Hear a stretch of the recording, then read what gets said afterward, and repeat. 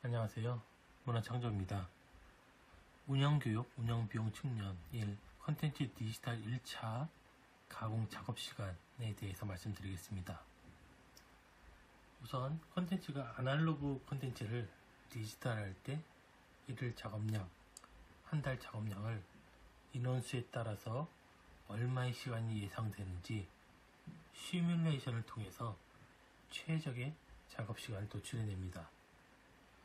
CP사로부터 제공된 컨텐츠가 포맷이 부적합할 때는 재가공을 진행하며 이에 관련된 작업 시간을 도출해냅니다.